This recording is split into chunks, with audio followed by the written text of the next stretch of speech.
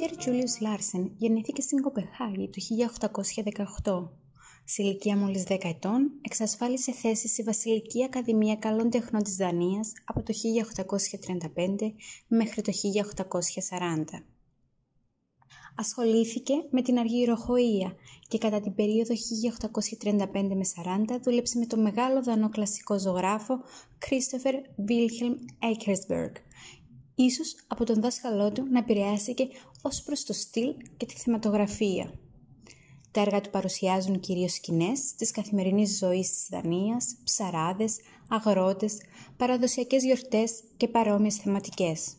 Στο έργο αυτό, ο Λάρσεν μας παρουσιάζει μια ιστορική στιγμή που συνδέει ένα δανό βασιλιά με την Κύπρο. Ο τίτλος του πίνακα αυτού είναι «Ο θάνατος του Ερίκου του Αγαθού στο νησί της Κύπρου 1842». Το έργο αυτό αποτελεί πρόσφατη προσθήκη στη συλλογή του Παρισιού της Λεβεντίου Πινακοθήκης. Ο Ερίκος ο πρώτος της Δανίας, γνωστός ως Ερίκος ο Γαθός, ήταν ο βασιλιάς της Δανίας από το 1095 μέχρι το 1103. Το 1103 αποφάσισε να πάει μαζί με τη σύζυγό του, τη βασίλισσα Μποντήλ, για προσκύνημα στους Αγίους Τόπους στην Ιερουσαλήμ.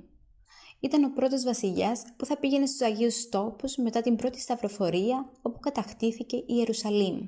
Παρόλο που ο βασιλιάς Ερήχος ο πρώτος, κατά τη διάρκεια του ταξιδιού τους, αρρώστησε στην Κωνσταντινούπολη, συνέχιζε το ταξίδι για τους Αγίους Τόπους, αλλά δεν κατάφερε ποτέ να φτάσει εκεί.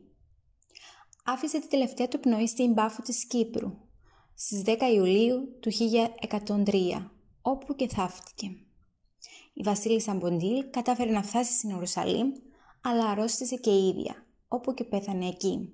Η επίσκεψη του Δανού βασιλιά έγινε όταν η Κύπρος ήταν επαρχία της Βυζαντινής Αυτοκρατορίας.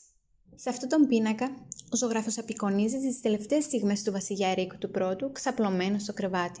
Δίπλα του βρίσκεται η σύζυγός του Ποντήλ, η οποία είναι γονατιστή στο πάτωμα, κρατώντας τους στοργικά το αριστερό χέρι. Στα αριστερά του Ερίκου του Πρώτου είναι ο ιερέας ο οποίος διαβάζει τις τελευταίες προσευχές στον βασιλιά.